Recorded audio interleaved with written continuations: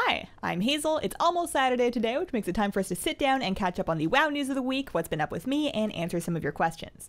This week was the patch 8.1.5 release date, also the patch where I finally clued into the fact that including all of those points in my Premiere project names was causing me problems, so that was dumb of me, but better late than never. This was also the patch that brought Kul-Tiran humans and Zandalari trolls into the game, and battle pets are now dropping from Mogu'shan Vaults, Heart of Fear, Terrace of Endless Spring.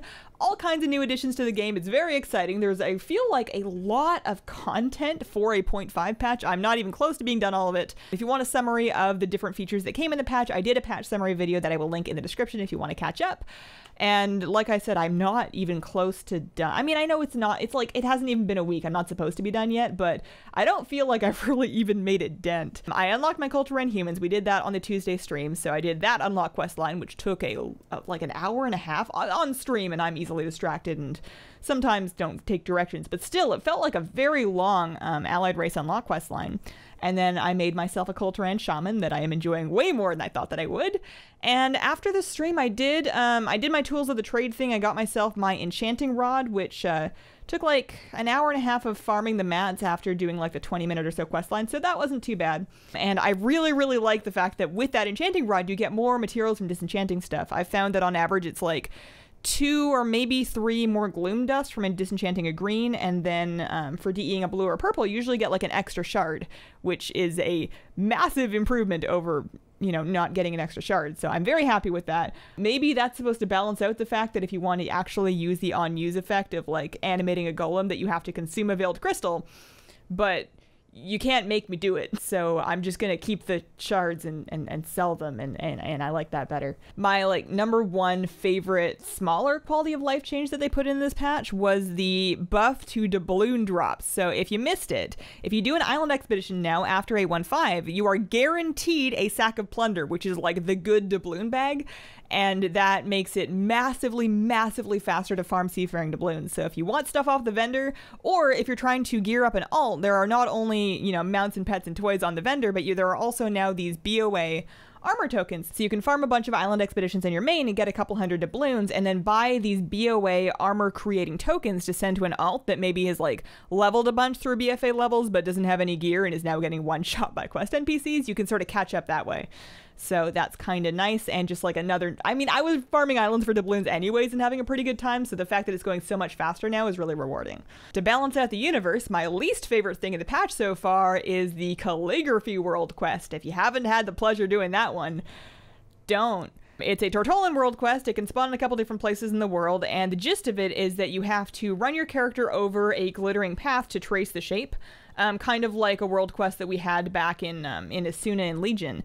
Except with this one, the shape disappears after a couple of seconds, so you have to remember it, and that's kind of fine. That fits in with the whole Tortollan quest puzzle thing. But the other catch is that it is incredibly, incredibly sensitive. And if you go even a millimeter off the path, you have to start it over again. And it's not even super apparent that you failed.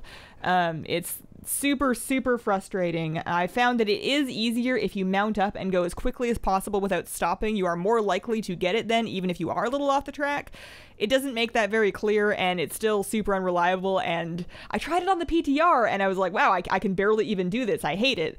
And then it came on live, and I'm like, how on earth did this make it off the PTR? I still can't do it, and I hate it. So, uh, hopefully they adjust that one to be a little more forgiving. I don't even mind, like, I think it's a neat idea to have to trace the shape and, like, remember the basic shape, but I would rather that the shape be, like, a little more complex so it's a little tougher to remember, and then don't, uh, you know, kill it if you just, like, trip a, a, like a blade of grass off the path. I would be I, I, would prefer that. I also did the new Magni quest line last night uh, after I discovered that after you do that you get 10 item levels to your neck. I had missed that piece of news earlier, so it's a pretty short quest line. Does not take very long. There's not a whole lot to do. You just go talk to Magni, see the pretty story things, and then you get your neck item level boosted, which is nice. And then uh, what else did I do? I farmed. I did a run through of the mop raids and got like a couple of the pets. And now I'm debating whether or not I want to like engage my alt army because I really want to see them all drop myself this time. I'm telling myself that I'm not going to buy any and I'm not going to accept any gifts. I'm just going to try and farm them all myself. And I can't decide if it's worth burning myself out by taking like 12 characters through them. It might be.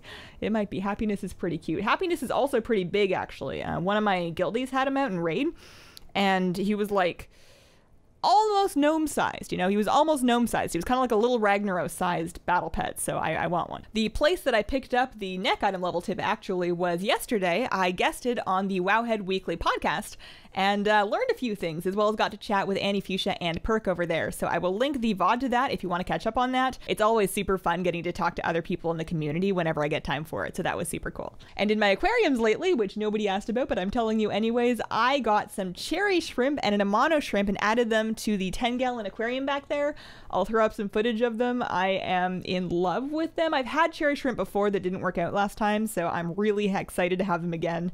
Uh, they're just so cute and so fascinating, and I'm very relieved that the minnows aren't going after them. There's like lots and lots of cover in that tank, so they have a lot of room to hide, but the minnows aren't especially smart, and they don't really seem to recognize that they exist, so that's good. The place that I picked them up from only had five cherry shrimp, so that's all I've got for now, and I do think that they're all boys, so I kind of have like a weekend mission to go out into the world and find some good looking shrimp mamas to start, you know, to, you know, they're lonely in there. And scooting right along from that, questions from this week. Lefteris asks, How many mounts are you at right now, and what is the next mount that you're heading for? So I logged in to check on my priest. I have 418 mounts total on my priest, like the number that appears in your mount journal. And then for the usable mounts, which is the one that counts towards meta achievements, I am at 368. The next one that I'm working on is the Armored Razzashi Raptor from Zul'Gurub. That is the one we keep running on Tuesdays. It's, no luck yet, but it'll happen eventually. And uh, also kind of trying to peck away and finish the rest of the Warfront mounts. I still need Skullripper from Arathi, and then I'll be done with those ones, and a couple more from Darkshore. Alan asks, nice planted tanks. What plants have you got in there, and what substrate are you using? So for substrate, I am trying out Eco Complete, and then a pretty wide assortment of like beginner plants because none of my tanks have CO2 or anything.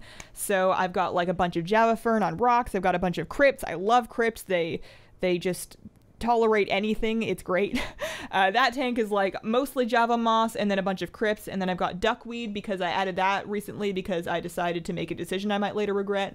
And then my 20 long in the living room has got all sorts of, we got Christmas Moss, we got Anubiases, we have Wisteria, and we got a pothos growing out of the top. We have all kinds of Java ferns, just like just lots of easy stuff. I'm kind of in the phase of my planted aquarium life where I'm just like getting all of the popular plants and putting them in my tanks and seeing what grows and seeing what dies and seeing, you know, how things do in my parameters. So I'm just kind of learning.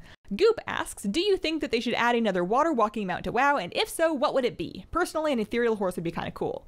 So I want more water walking mount options. I feel like they just don't want to put more water walking mounts out there, but they're already out there. We've already established that they're not taking them back. So the fact that we only have water striders, I feel like looks a little samey. I would like more options. The idea that I had that I'm kind of attached to that would be probably too much work to do is I wish that we could empower one mount from our collection to be a water walking mount that wasn't originally.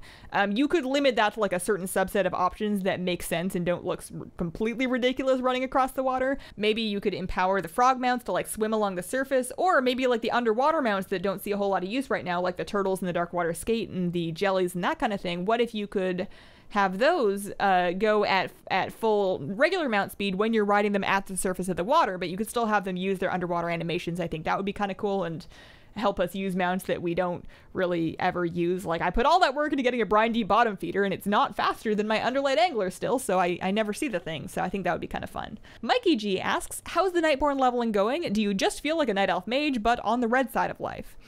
So, funnily enough, not really. Uh, the leveling's been going well. I'm level 63. Patch stuff kind of overtook a little bit this weekend, but I still feel like it goes really fast whenever I actually sit down to do it. And I think it's the right Horde character for me because I don't really feel Horde. I understand that they're part of the Horde, and I uh, feel it more when I have to go through Orgrimmar for something. But because I spent so much time assisting the Nightborne on my Alliance characters, they just kind of feel like Nightborne to me. I, I I I know that I know they're Horde, but I can like suspend my disbelief and just sort of like go adventure as like an arcanist of Suramar. The faces do feel different enough for me that I don't feel like a night elf. Also, like we saw this whole zone that had this gorgeous city and all of this backstory and all of this like architecture. Like we had all of this Nightborne stuff to look at that really makes them feel like their own people compared to something like a Void Elf, which to me still feels like a purple blood elf. I know they they had stuff in Legion too, but it was like out in Argus and it wasn't very Void Elfy, and they have a much less intricate backstory. So I do feel like Nightborne feel like their own thing to me. Maddie DJ asks, why did you choose a gnome? So I did not initially roll my priest as a gnome, actually. She was a human priest up until Blackrock Foundry and Warlords. And the reason why I race changed to a gnome was because I wanted the haste, actually.